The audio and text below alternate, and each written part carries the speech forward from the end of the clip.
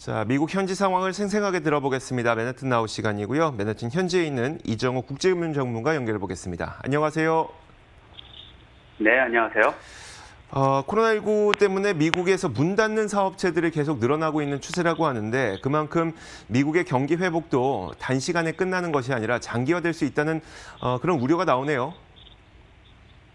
그렇습니다. 지금 표에서 보듯이 그 미 Yellow Page 업체죠. 옐프의 자료에 따르면 지난 3월 1일부터 현재까지 문을 닫은 비즈니스의 숫자를 분석한 결과 최근에 그 영구적으로 폐업한 곳이 일시적으로 문을 닫은 것보다 더 많아졌다고 음, 워싱턴 포스트가 보도했습니다. 그 일시적인 중- 영업 중지라면 코로나 사태가 가라앉고 나서 곧바로 영업 재개가 가능하죠. 하지만 영구 폐업을 한 경우라면 얘기가 다릅니다. 새롭게 자본을 끌어와서 사업 허가를 내야 되고 또 업장을 새로 계약하고 인테리어를 하고 직원을 또 채용해야 되고 뭐 이런 과정이 되게 오래 걸리고 또 쉽지 않기 때문인데요. 영구 폐업이 많아질수록 탄력성 있는 경기 회복이 어려운 이유입니다.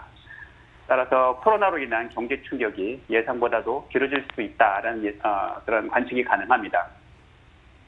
또 추가적으로 또 표에서 보이듯이 그 업종별로는요. 어, 레스토랑이 우선 가장 큰 타격을 입고 있습니다. 전체 2만 6천여 개 영업 중단한 레스토랑 가운데 60%가 영구 폐업에 해당합니다. 음, 영업 중단한 숫자로는 그 다음으로 쇼핑몰 retail 역시 레스토랑 못지않은 피해를 입고 있고요. 영구 폐업의 비중 역시 48%로 거의 반에 육박하고 있습니다. 그 다음으로는 뷰티 스파, 바, 나이트클럽, 피트니스 센터 순인데요. 이게 모두 다 서비스 업종이죠. 그래서 이런 패턴을 어, 지난 금요일 24일에 발표된 7월달 미 PMI 역시 이런 패턴을 반영하고 있는데요. 생산자 PMI는 51.3으로 6월달 49.8에서 소폭 상승했고 기준선인 50도 살짝 넘어섰는데 서비스 PMI는 6월달 47.9에서 49.6으로 소폭 상승을 하는 데 그쳤고 또 기준선인 50 미만이라서 아직 침체기에 있는 것으로 나타나고 있습니다. 음. 자, 이렇게 불투명한 경제 전망이 계속 이어지고 있다 보니까 안전자산인 금에 대한 수요가 굉장히 가파르게 또 늘고 있는 것 같은데 이, 이 부분에 대해서는 좀 월가의 평가가 어떨까요? 예, 맞습니다. 지금 여러 가지 이 문제가 많이 어, 엮여 있죠. 금값에 대해서는. 우선은 지금 가라앉지 않고 있는 이 코로나 사태 때문에 사람들이 이 경기 불확실성 더욱 이제 심하게 느끼고 있습니다. 그래서 아무래도 안전자산에 대한 수요가 늘어나고 있고요. 또 지금 이제 2분기에 그 기업들 실적 발표들이 나오는데 대체로 예상과 부합하는 것들이 있지만 아, 기술주 같은 경우 그동안 쭉 나스닥을 이끌어왔던 미국 증시를 이끌어왔던 기술주 같은 경우 지금 조정을 받고 있기 때문에 또 사람들이 월가에서도 많은 혼란을 느끼고 있습니다. 그래서 지금 금 외에도 엔화 같은 안전자산에 대한 추, 어, 추세가 지금 뭐 계속 늘어나고 있는데 금값은 지난 24일 금요일 뉴욕 상품거래소에서 그 온스당 1,900달러를 넘어섰죠. 이 역사적 고점을 만들어 나가고 있습니다. 엔화 역시 지금 그 그림에서 보듯이 7월 초에 달러당 한 108엔을 하회했었는데요. 이게 점진적으로 계속 상승하다가 최근 급등을 했습니다. 그래서 지금 106.5엔을 훌쩍 넘어섰는데요.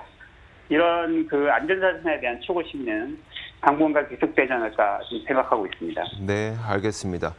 자, 마지막으로 맨해튼 현지 분위기도 좀 전해주시죠. 그 마찬가지로 뉴욕시도 현재 코로나로 어, 가장 타격을 받은 거는 역시 관광 산업인데요. 뉴욕 관광 산업은 한 해 450억 달러 규모를 자랑하고 있고요. 또 30만 개 일자리를 그 지탱해 오던 산업입니다.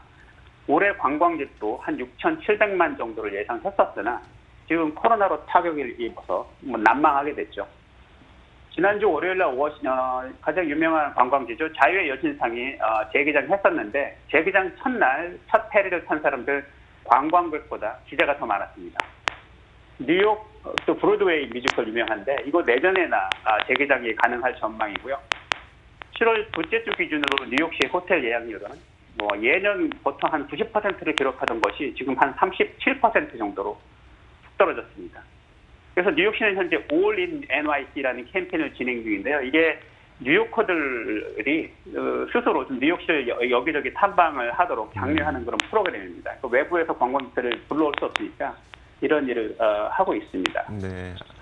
차근차근 잘 되고 있다고 하더라도 뉴욕도 굉장히 많은 고통을 겪고 있군요. 알겠습니다. 맨하튼 현지에 있는 이정우 국제금융 전문가로부터 이야기 들어봤습니다. 고맙습니다. 네, 감사합니다. 자, 이렇게 1부 마치겠습니다. 잠시 후 2부에서 더 많은 내용 들고 찾아오겠습니다. 잠시 후에 뵙겠습니다.